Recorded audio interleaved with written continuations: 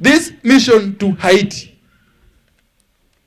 the mission that the Kenya government wants to get involved in, of taking our innocent police officers to Haiti, must be looked into. If at all we mean well for our country and its citizens. I saw some protocol being signed in State House yesterday between the Kenyan government and the government of Haiti. First and foremost, as per the recent court order, the recent court judgment, we are yet to meet the basic conditions that were set out by the court in its ruling. First and foremost is the question of reciprocity.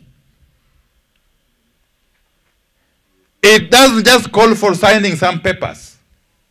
No, we must prove that in Haiti, the Haitian law has got similar provisions as the Kenyan law insofar as the participation of Kenyan police officers outside the country.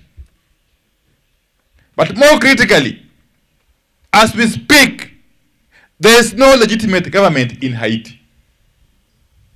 So whoever came here calling himself a prime minister of Haiti is not legitimate holder of that office. And therefore, the Haitian government, as we speak, has got no capacity, legal capacity, to enter into any contractual obligation with any other country, either bilaterally or multilaterally. And you could see, as the gentleman was signing some papers in State House in Nairobi, the Haitian militia were warning him not to go back. Which prime minister can be told not to go back to his country? By militia. They told him, don't, don't dare leave Kenya to come back to Haiti after signing those papers with Ruto. Can you imagine? These are not just jokers. These are serious militia.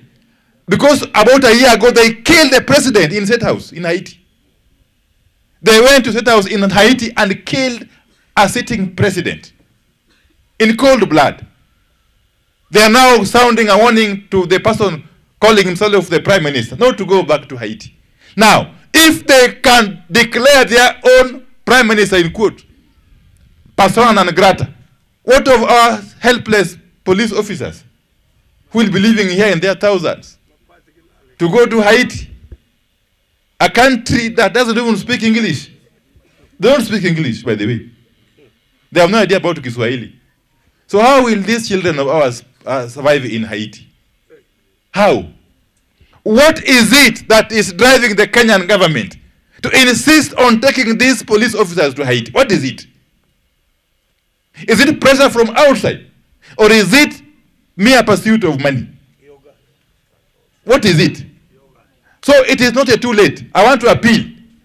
I want to appeal to Honorable William Ruto to rethink this decision, to review this decision, and indeed to resign this decision. Because we are likely as a country to suffer immense losses, untold losses, if this mission takes off.